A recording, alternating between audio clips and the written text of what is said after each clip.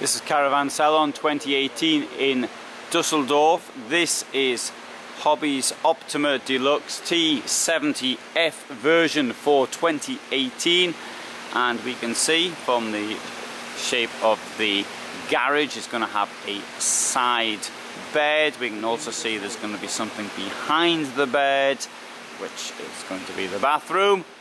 I haven't been in this van, but I know. apart from that, no, having said that, it does have a does have a drawing up there, and um, let's have a look at some of the pricing. So it's 79,000 euros new. You won't get one in the second-hand market, I don't think, because I've only just brought this sort of thing out. It's 741 millimeters long, sorry, centimeters long, 233 centimeters wide, and it has a height of 277 and a half. Let's have a look inside. Uh, was going L seating group and XPS insulation. Oh, and there's a list of all the other things it's got as well. You get, all you get all this. I won't read the whole thing up to you. Let's turn to the left first of all, because this I think is very impressive. We have got a side bed, as I said. Next to the side bed, there is the fridge. Tower fridge which is a good shape because it uh, allows space to be used more effectively. Lockers around the bed. Very nice decorative element above and from that you can see if the shower's in use or not. So we come around here to the back. Toilet. And this very elegant, I think, shower.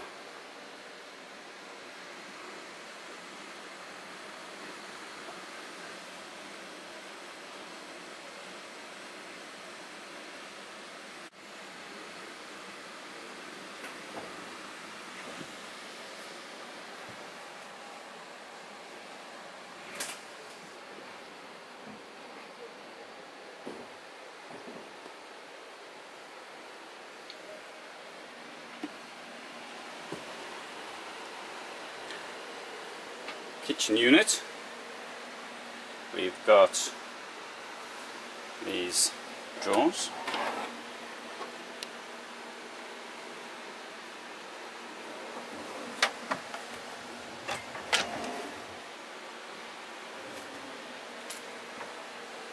Dometic. Oh, I forgot what they call these things. Just been filming two others and I said the name without any problems. Now I've forgotten what they're called. Anyway, these things here. What these things you put over an oven. Uh, a, um, a gas cooker. Extractor. Smoke extractor, something like that. I can't now. Right, you've got three uh, burners down here. You've got a sink. Tambour door up here for the uh, storage.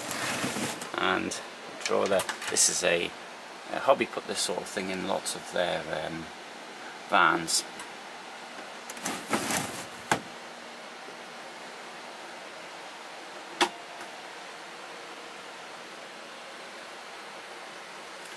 Now the space above the bulwark down there we've got uh, captain's chairs obviously they turn round to come to the table and as it said L-shaped so that's great. If you're sitting there you can uh, have your feet on the chair.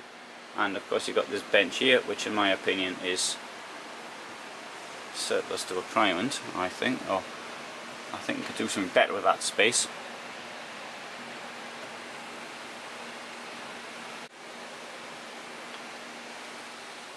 This is on a Fiat uh, chassis.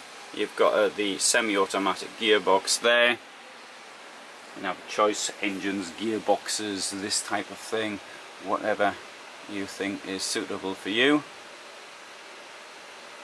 So that's a look down the van at the back. Let's have a look on the outside now, shall we? In fact, let's have a look at some more hobby vans while we're here.